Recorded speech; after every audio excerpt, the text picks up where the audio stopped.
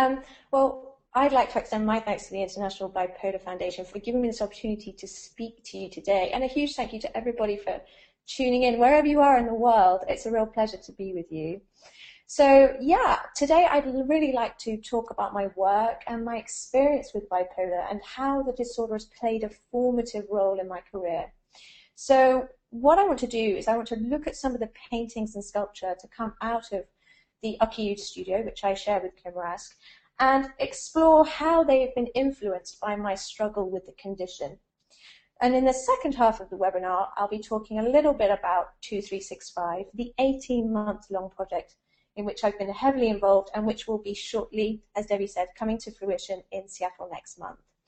So here's my first slide. So what do we know about the relationship between artists and bipolar disorder? Well, it's a commonly held belief that there are close links between bipolar disorder or more generally mood disorder and the creative voice, whether that be expressed through the visual arts, the dramatic arts, music or literature. Indeed, over the last 20 years, there's been a sizable amount of academic research on the subject. Kay Redfield Jamison's 1993 book, Touched with Fire, which I'm sure a lot of you are familiar with, really brought the subject into the public eye, and the debate has really endured since then. Um, and even just a few days ago, and I'm sure some of you saw this, um, it emerged that Oregon State University and the University of California, San Francisco have been conducting further studies into this area. So regardless of the nuances of individual programs of research, there does seem to be an overriding consensus that in general terms, certain symptoms associated with bipolar disorder, hypomania or mania, depersonalization perhaps, and heightened emotion, whether positive or negative, can have a profound effect on the artistic imagination and creative output. So it does seem that the uh, rather romantic or maybe cliched sentimental notion that one must suffer for one's art is actually accurate. Indeed, if you just type the words bipolar and artist into any internet search engine, the likes of Jackson Pollock, even Michelangelo, and these two fine fellows, Van Gogh on the left and Edvard Munch on the right, pop up time and time again. Now, I would add the caveat that a lot of these links are suggested rather than substantiated um, because these guys were, a lot of them were working and living before bipolar really came into the uh, public consciousness, if you like. Um, but there does seem to be, nevertheless, a substantial link between those who work within the creative sphere, whatever guise that might take, and those who suffer from mental illness of this kind. So much as I hesitate to wholeheartedly agree with this, I don't believe that they are, enti- they are entirely mutually dependent states. One can, for example, be a brilliant artist without having bipolar, and one can have bipolar without being a particularly creative person. And much as I am reticent to mention myself in the same breath of these as these great bastions of my field, I do believe this theory to be true if I examine my own personal circumstances. If you've come across the article I wrote recently for Natasha Tracy's website, you will know that I talked of my childhood and my teenage years. I was diagnosed, as Debbie said at the beginning of the webinar, with bipolar disorder type 2 at 19 when I was a student at Cambridge University in the UK. And given what I knew of the disease, it made perfect sense to me. I'd been a very creative, artistic child, and I dare bet many people would say I was rather precocious and temperamental and moody. But I knew that art would play a very important role in my adult professional life. So I absorbed the diagnosis, I told no one, and just got on with my life.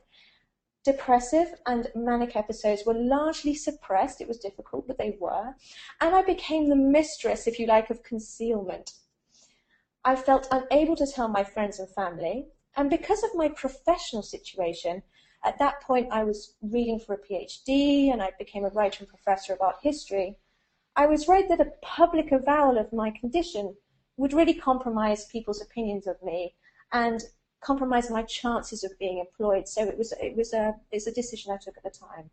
And besides, I was living in a really competitive, slightly nice bourgeois society where admitting failure or weakness really just wasn't an option for me. So whereas the disorder was perfectly reconciled with my burgeoning career as an artist, it conflicted with the more public side of my professional and personal life, if you like. Well, things changed, however, when I started working with my artistic partner, Kim Rask, in 2011. Um, and the supportive nature of that collaboration and the desire to freely exchange ideas gave me the space and confidence to become more open about my condition. And I looked back over my old work and realized that a lot of what I produced during my 20s was innately reflective of my condition. And here you see a slide of some of the earlier work I was doing. It was as though the act of public concealment had forced me to find another channel through which to express my psychological trauma. It was a type of, um, I suppose you'd say, visual sublimation, if you like. When I analysed these early drawings, I realised that privately, at least, my art and my condition were always intertwined. And you can see in these two pictures, we've got two, two examples of older preliminary sketches, and you'll see soon that they really do have a big influence, both in terms of style and subject matter, on the stuff that was to come out of our studio over the last few years. So, over these last few years, Kim and I have attempted to readdress and refashion some of the ideas and forms of my earlier work. Psychological, or if you like, psychoanalytical introspection has become a central theme, and more specifically, excuse me, we focused on the ways in which the physical body can both harbour or reflect psychological pain or trauma. In other words, we explore the relationship between the internal psychological and the external physical landscapes of the self. So I'm just going to show you a piece of sculpture that we, we've been working on. So this piece of sculpture really illustrates this idea, I think. So as you can see, it's called Suspension State of Being, and it was created and exhibited last year in Brussels, Belgium. That's where we were kind of partly based last year. So here we see a human form, a child, whose right side is pristine and beautifully modelled, yet whose left side is completely blown apart. And you can kind of see that on the left-hand side of the slide.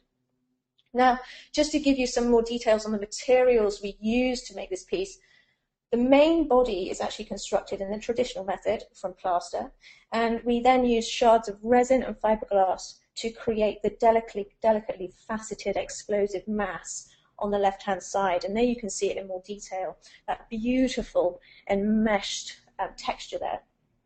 So in this piece, we wanted to get across the idea of dualism, or of binary opposites, if you like, where what appears to be flawed on the outside can be fractured and broken on the inside. And that the ferocious power of one's true self will always have the capacity to break out and make itself known, and to shock to some degree. So in this shot, as I just said, you can see the left-hand side in more detail where the explosion has left a gaping hole. And inside the void, we see a golden egg-shaped form suspended within her torso. I hope you can see that there. It's quite dark. Which one perhaps could argue uh, evokes that, that soul or that true self I was just talking about, that egg being the true soul or true self. Now, you'll also note, if I go back, that the form is completely mute.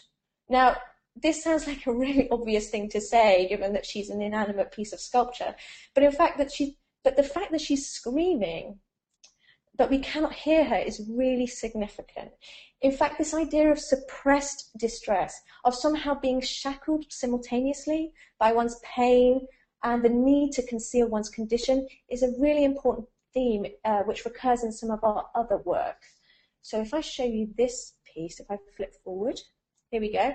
So this piece um, is called Labour Release 4, as you can see, and it was also produced last year. And again, we see another childlike form sleeping.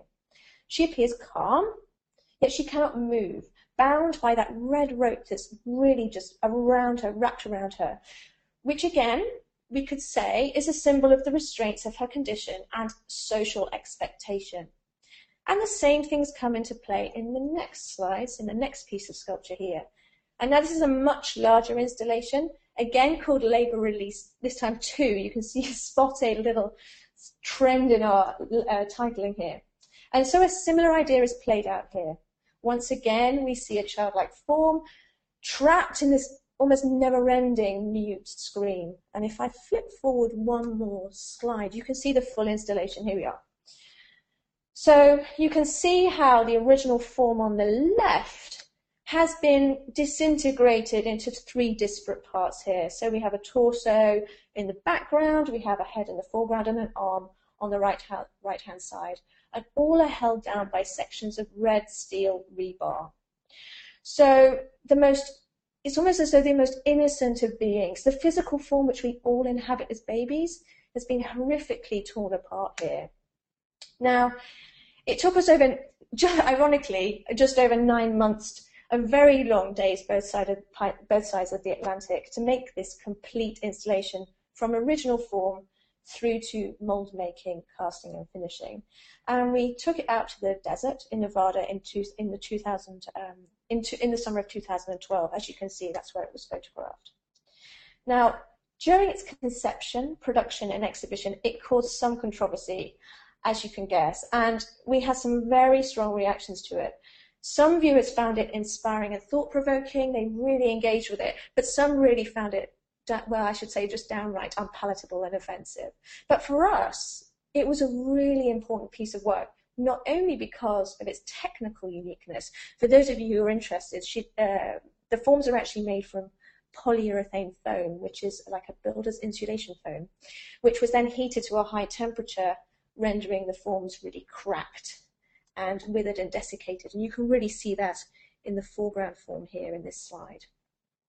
So it wasn't only important for us because of a technical point, but because it was full of raw emotion. It spoke of my early diagnosis and all of those years in the wilderness when I was really in, felt incapacitated like a young child, unable to tell anyone of my condition.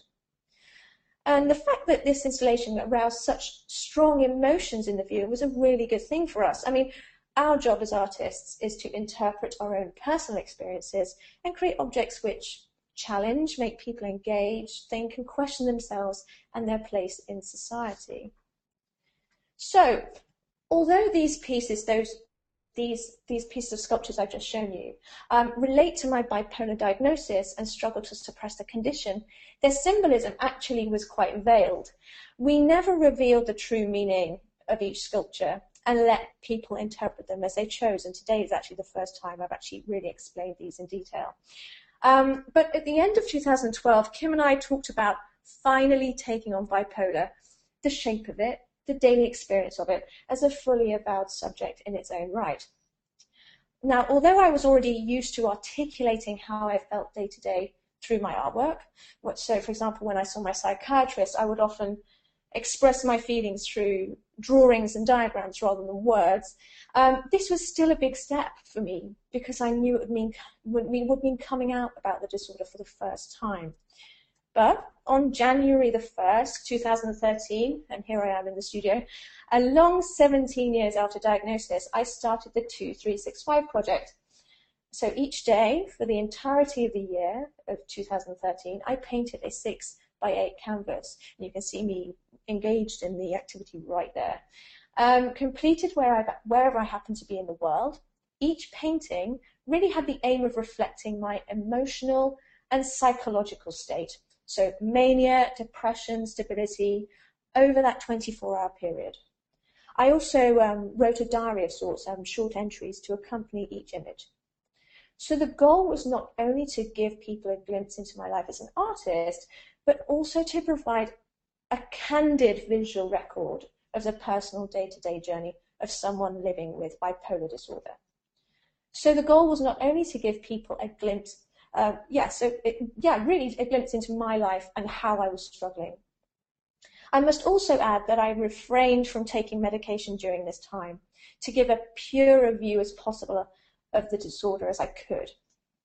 So as I started working through good days, bad days, manic days, depressed days, stable days, and frankly, in quotes, normal, boring days, um, I realized that certain forms, styles, and colors were beginning to establish themselves as meaningful, and pa- visual patterns slowly started to emerge.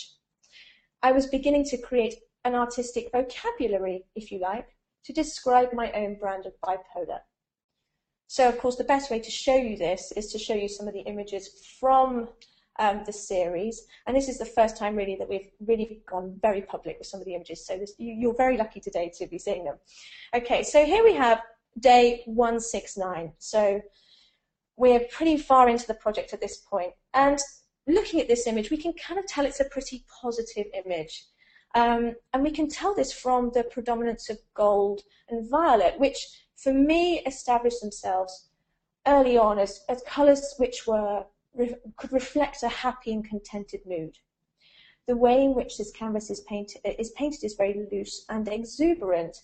You can clearly see the brushstrokes, which also indicates a carefree and confident attitude. And interestingly, if I take my cursor, um, you can see an almost bird-like abstract form in the center of the composition there. And that's really significant because it, the bird came to personify me, or the self, if you like, in a lot of subsequent paintings. So here it is soaring through this beautifully coloured, vivid, abstract sky. So if we go on to the next slide, here we are. This is number 242. So again, a bit further through the year. And you can see that this is so different in terms of palette, style, and atmosphere. And here I am right in the middle of a manic phase. And I think you can tell this in the, you know, in the chaotic mess and febrile streaks of color tearing through that composition. It's very heavy-handed. There's really no restraint at all, and it's very thickly painted. It's almost as though I'm reveling in the paint, powerfully moving it around the canvas with this invincible confidence that you sometimes get with mania. But note, there's a huge wave of white dripping down the canvas, and this is so significant as it forewarns of a severe crash. White is, for me, without doubt, the worst colour in terms of mood in my palette. It signifies a deep depression, which actually many people are quite shocked by, as they assumed that black would be the colour of depression, but actually black is a kind of baseline colour for me. So we can see here that this terrible phase is thundering its way towards me, and is about to swallow me up. And here we go, day 193. So we've gone back in time a little bit, but this is indeed a day of depression. And so we see that white coming into play again, but the white is different here. That band of white really across the center of the composition really does mesmerize the viewer and pulls you right into the center of the composition. And it's and maybe you can't see it on the on the screen here, but it really does have that effect when you see it up close in real life. But yet again, notice the difference in style between the previous canvas, this one, and this one here, 193. The light and color here is much more diffused. It's soft, it's almost ethereal. And I really wanted to get across the idea of being suspended in a, a white noise, if you like, of floating in that dead numbness of depression, which some of you may have experienced, and being barely in touch with the physical self. And here's another example. I'm just going to show you 187, going back in time a little bit more. And this really is a, we're really stuck in a depressive phase here. Very, very, very, very bad. And you can see that cloud of greyish white just enveloping the entire composition, swallowing up the viewer. Barely anything is discernible through this, this terrible isolating mist, but you can see, I think in the bottom right, there's a tiny little ball or sphere there um, which will become significant, you'll see soon. So going back to 193, well, what's also interesting about this image, I think, is the use of bright blue. Now, bright, bright blue for me, um, especially this kind of intense, technicolor, acerbic blue, is a shade associated with performance and facade. So when you see blue in the series, you, you know that those are days when I am acting, I'm entertaining people with the public me, and concealing how I'm truly feeling inside. So you can see that day 193 was a real, a real day of contrast. What, how I felt inside really wasn't being shown in my public face. So let's go back to this one. So the three examples I've just shown you, well, four examples actually, um, are actually very abstract in style, I think you'll agree. We can't really identify um, objects or for forms very easily. Um, but not every day was like this. For example, this one, day 291, so we're more figurative in style here, so everything's more easily legible, and we can see a still life. You know, it's rather sad and dirty looking, and, but we still see apples and fruit and bottles and books. So we can see that because things are easily discernible and legible, then perhaps was, this was more of a, a, stable day. It was a normal day. You know, I was engaging with things around me and I was feeling okay. And let's go on to the final image I'm going to show you here. This is day 365. Now, some of you have probably already seen this if you've been aware of the project so far.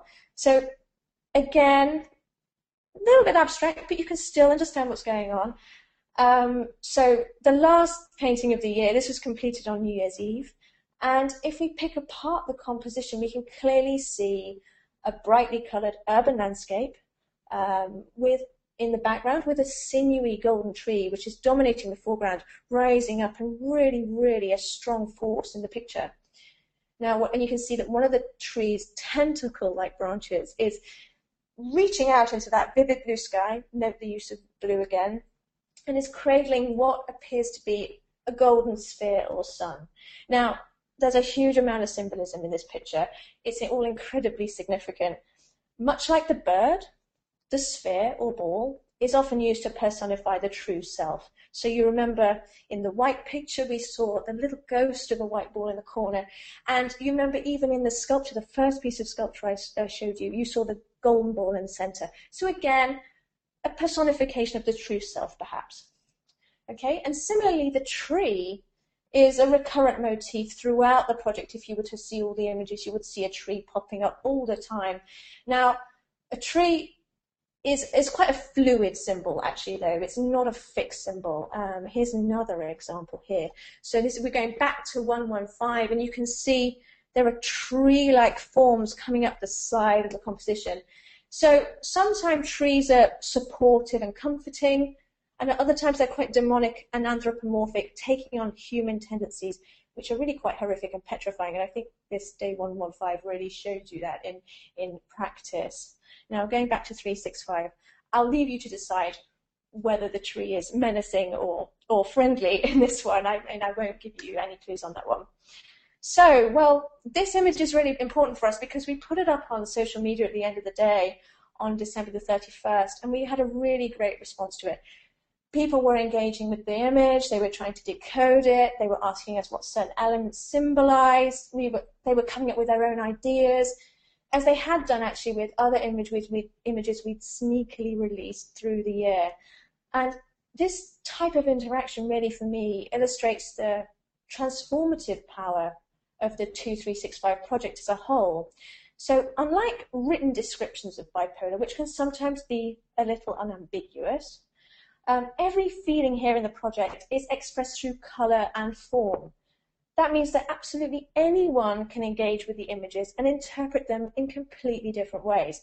Obviously, they mean particularly, particular things to me, as, as I've described today, but each painting is infinitely relatable, whether you have a direct relationship with bipolar, an indirect relationship with bipolar, or you're just simply someone who's interested in art. So it's a project that gets people thinking and talking. Well, what did I learn from the project? Well, it highlighted that being bipolar for me is both a blessing and a curse.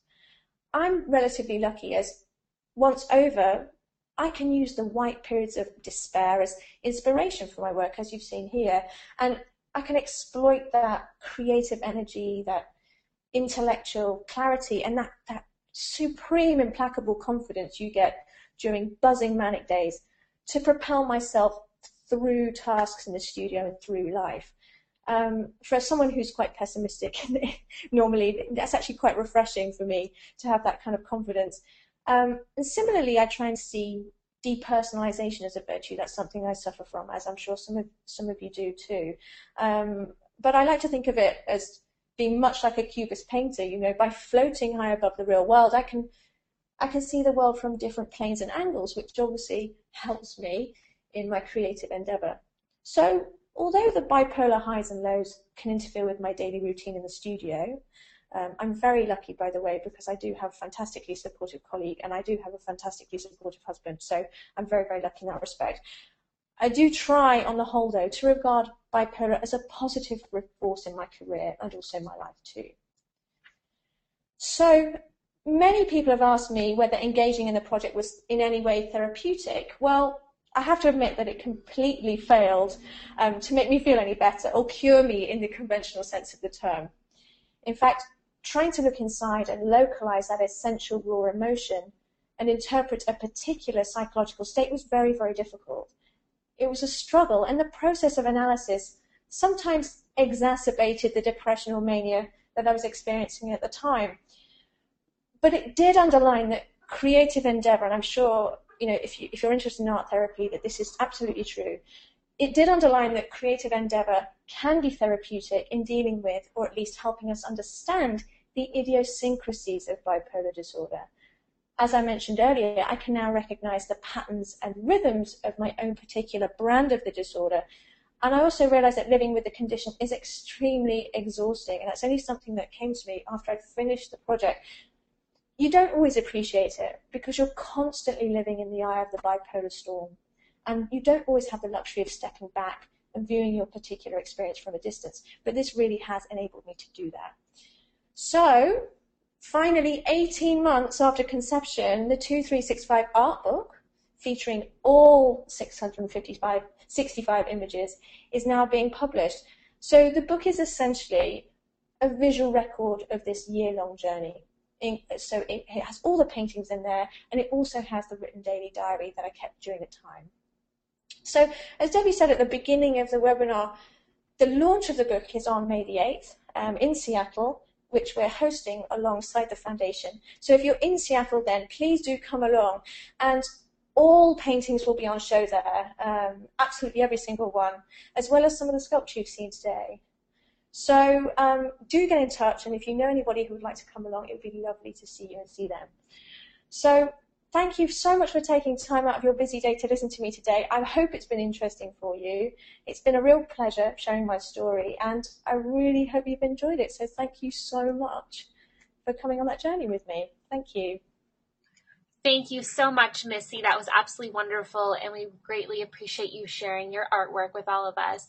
Um, before we take any questions, um, well, let me just explain. There is a question box on your control panel where you can type in your questions and Missy will answer them.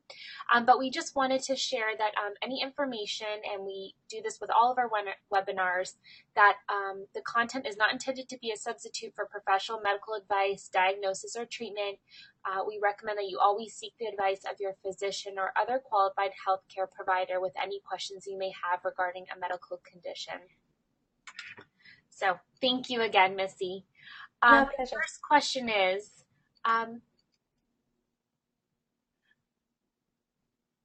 did stop taking when you stopped taking meds um, did that seem too risky? Were there withdrawals risks of reactions to stopping? Oh that's a really really good question. Actually I, I would say that i'm not someone who likes taking medication and uh, I know there are a lot of us around who don't like taking it. Um, it and, I think I can often control my symptoms or live with them without medication. So it wasn't a huge deal for me. I, am very lucky in that respect. I know a lot of people are very dependent on medication to to, to merely just you know function normally or what, what we perceive as normally. Um, but no, taking refraining from taking medication really wasn't a huge issue for me. Um, it was, but for me it was important because I really wanted to just show show the condition warts and all without feeling as though my moods were being flattened in any way, shape, or form. But that's a really great question. Thank you. Yeah. Thank you. How long have you been involved in art? Oh goodness gracious. um, uh, and well, I mean, uh, really every, you know, since I was a child, it, it was something that was always going to be part of my life, and I knew that I always wanted to be an artist, even when I was little. Um, uh, and really, I studied art at school until I was 18, and then it became more of a sideline. I mean, I was I was studying a lot, and then I was teaching, but really, it's been there in my life constantly, and it's it's you know, if you ask anybody who knows me, it was pretty obvious early on that this was going to be the job that I would do, and um, so yeah, it's been a, it's a constant force in my life, and now it really is. Over the last few years, it's really kind of just taken over my whole life now. So yeah, so so it's been there all the time, absolutely. Thank you. Um, our next question is I'm confused about the white representing deep depression. Shouldn't it be black? Um, you know, as I said in the in the lecture, it's really do you know a lot of people have said that, and it's so surprising to a lot of people. Absolutely everybody has said when I sort of say, well, white is kind of a depressive color, and then and they're like, well, what? That doesn't make any sense. And actually, black for me is a kind of neutral color. If you were to draw out a you color out a spectrum um, of my bipolar palette, you know, black would be right in the middle, neither acidic nor alkali. It'd be neutral, slap bang in the middle. It's I know that sounds counterintuitive to a lot of people, and and I know look, this is only my interpretation of it. A lot of people would see black as the, the true color of depression, and that's absolutely fine. But for me, white is I think it evokes it more. It, it, it gives us a, it's this impression of suspension, being suspended in a, in a cloud where you can't really contact or engage anybody else, and you're completely cut off from the world. And that's the kind of um, idea I was trying to get across by using white, and it's always been the de- color of depression for me, and not black. So, but it's a really good question, and I'm really glad you know you picked up on that because it, it, it, so many people have said it, and um, yeah, but that's yeah, white for me is the one, not black. I'm afraid. Thank you. Why do you think so many people with bipolar disorder seem to be creative? Well, I do you know what? I don't know. um, that's that's a question for the scientists, I think. Um, I think it is because of those those symptoms. You know, if you try and look at the symptoms that we have um, in a positive way. So, for example, I was talking about depersonalization. Now, that can be a pretty scary experience for anybody who's had it. You know, this idea of being detached from your body and viewing your body from a completely different viewpoint is a petrifying thing. But actually, when you, you analyze it, when you're in your more stable moments, you think, do you know what? That's absolutely incredible. And I think creative people tend to try and look at things from outside of the box. I hate using that kind of cliche, but you understand what I mean. You, we, we try and look at things from a different perspective. So I think something like depersonalization really does help. Um, the idea of feeling something so intensely that it consumes your whole body so with depression, you know, you get that sense, and, and mania as well, when your whole body is buzzing. The fact that you can experience emotion, heightened emotion, to the highest degree or the lowest degree, is is something that no doubt helps creativity because you know that that's what creative people do. They try and tap into those really strong emotions to create something which really has a universal message. So I really, I mean, really, we'd have to talk to the scientists about that, but that's my take on it yeah. Thank you. Um, congratulations, Missy, for this amazing journey um, into your desperation to creation. The question you. is you said you can identify the rhythm of your bipolar disorder. Can you plan your mm-hmm. creation accordingly? Did I plan my what? Sorry, I didn't catch that. Your creation, your artwork. Did I plan it accordingly? Um, I'm not quite sure what that means. Um, did I plan the I mean, I, I didn't really plan it. I mean, I just started on day one and went through to three, uh, number 365. I, I didn't really plan anything as such. I really had to just switch off my brain and just go with it. It was almost like um, letting myself go down this river, you know, just being swept along by the tide. And now there was a risk, you know, there was a risk that I would have no mood swings that whole year, that I would experience no depression, that I would experience no mania, that, you know, we could have easily had 365 canvases of absolutely nothing, and it would have been rather boring. But, you know, so in that essence, we couldn't plan. We just had to go with it. And um, in terms of every day, um, really, again, you couldn't plan anything. If, if an emotion hit me, then I had to do it straight away. I had to paint straight away. So really, I was at the mercy of my emotion, which wasn't particularly pleasant sometimes. But um, so really, planning was kind of a subsidiary issue. Really, no, exactly. So. Okay, thank you. Um, you mentioned art therapy. Do you do that in mm-hmm. conjunction with your own artwork by seeking a professional? No, I don't actually, and um, it's something that I'm really interested in actually. Uh, but no, I don't. And but I know a lot of people do get immense help from that kind of thing, and I think it's a fantastic initiative. And if people can use art or any kind of creative output to really kind of tap into their disorder and understand their disorder better, then I think that's a fantastic thing. And you know, but it's not something I do, but I really do think it's a brilliant, brilliant um, initiative. Really do. Thank you. What are your plans for your next project?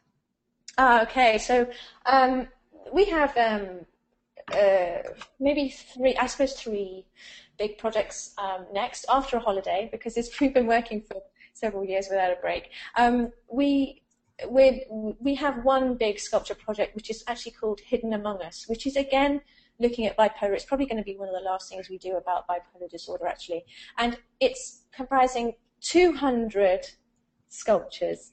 So a cast of 200, and they're all the same. And we're playing on the statistics of bipolar disorder. I think the latest research says it's 2.5% of people worldwide have received a diagnosis. So out of those 200, one will be painted in gold, and you know they will all be white apart from this one gold one, and it will be they will be spread out in this beautiful installation space. And it's going to be a fantastic exhibition uh, installation, very dynamic, very um, very ambitious, but very engaging. So again, using bipolar as a as an impetus really in that installation. We have a couple of other things going on as well, but um, that's probably the main one which uh, which we can uh, reveal at the moment. Thank you. And uh, the next question is, where can they find the article you did the interview with that you had mentioned early on? Okay, so if you go to um, if you look up uh, Natasha Tracy's website, she's a big bipolar activist, and um, I wrote an article for her. So if you go to her website, Natasha Tracy, um, you will find the article there. So that was out about, um, I think probably about a month ago, two months ago. So you will see it there. Thank you.